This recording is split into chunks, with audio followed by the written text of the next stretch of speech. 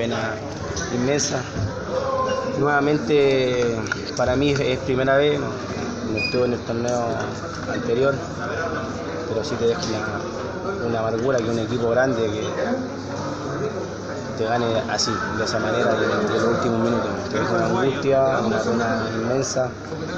Teníamos toda la ilusión y aún la seguimos teniendo, sabiendo que no dependemos de nosotros. Vamos a pelear las últimas dos fechas, si se puede salir campeón vamos y si no para, para meternos en copas. El empate no era tan malo, pero al final está muy complicado.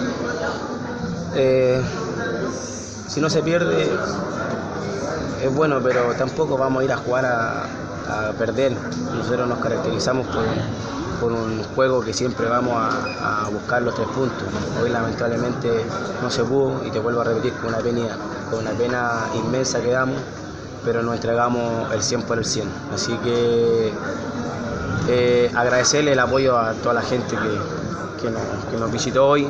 Lamentablemente no se pudo, no porque no quisimos, sino porque hay jugadores que en el equipo que también de ellos que, que, marcan diferencia en los momentos que tienen que marcar. Oscar viene un desafío el próximo fin de semana, tienen otra oportunidad acá mismo con un equipo difícil como el de Antofagasta. Difícil tal cual como este. Yo creo que ya la pena mañana pasa y tenemos que estar eh, preparados el día martes para, para llegar con todo, para, para ganar eh, Antofagasta, dejar los tres puntos en casa y por qué no seguir peleando arriba. Bueno gente, que estén